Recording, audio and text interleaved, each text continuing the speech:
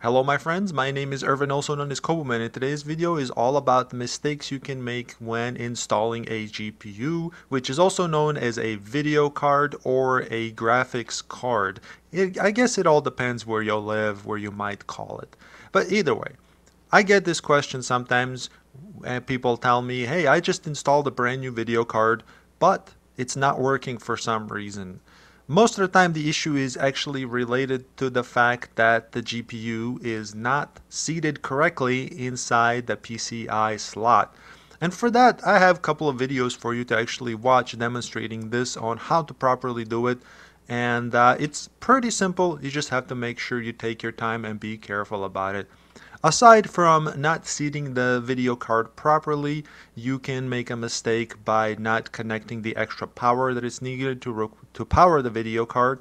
And from there, sometimes the issue is related to the video drivers or not installing the video drivers and even connecting the power cables and even connecting the wrong video signal cable. So yeah, these things can happen sometimes and it's okay. The main issue here is not installing the card properly. So let's have a look at a couple of different videos or a couple of different clips from my past videos on how to do it. They are going to be very detailed and zoomed in and very clear to follow. This is the best video you're going to watch, I guarantee it. Alright guys, uh, before we watch, please take one second to click the like, like, click the like button. I'm sure, uh, what was I to say?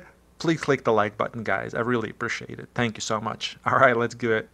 So in this case, I'm just going to remove this back plate here. All right, I'm just going to remove that, toss that aside, and then we're going to insert our video card, right? You just have to be careful. Don't force or rush anything.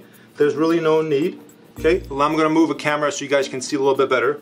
So from here, it's actually really simple. You see how this aligns, right? You see these notches?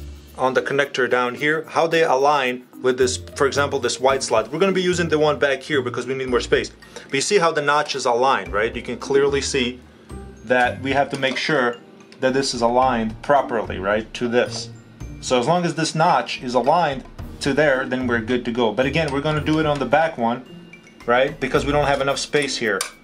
So we're just going to do it on the back one, you know, make sure everything is aligned like so you can see how the notches align. Make sure it's aligned.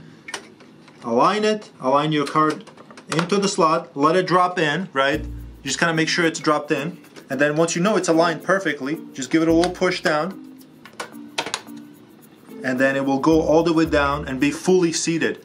Now you're ready to go, right? Now let me show you something from another angle. Now here's something people don't talk about often. Whenever you insert these in the back here where the black plate is, there's a little notch right there that you have to make sure that this back plate actually inserts into first, right? A lot of times these back plates are a little bit bent. Now let me show you what I mean. So when I take this video card out, there's a little notch in here, right? And this part of it here this part over here is supposed to go in here, right? Sometimes people try to force it and it then it goes against the motherboard and you can damage your motherboard a little bit there. But sometimes you just have to bend a little bit here to make sure it fits in here nicely, right? You see how it actually goes into that little gap, right? And otherwise we won't be able to push it all the way down like so. That our connector here aligns properly with our PCI Express slot. You can see there's a little notch right there, just like there, right? So we just have to make sure that's aligned. Um, lastly, real quick, a lot of times there's a little notch in there here that basically helps to keep the this that allows this slot to uh, the back plate to connect underneath here. So make sure you don't force that otherwise you may be damaging your motherboard so just be careful if you're don't force anything right so, so just don't force anything, right? There's the little tab right there.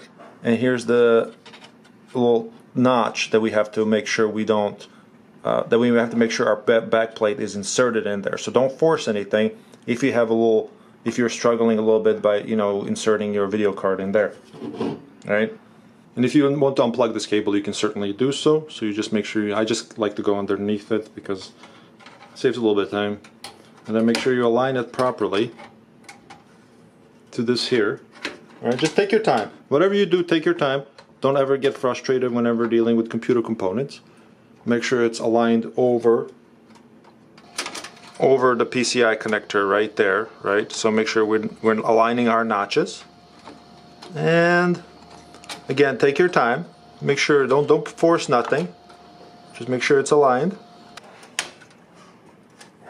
So once you know that everything's aligned properly, right? Then you can safely push it down, like so, right?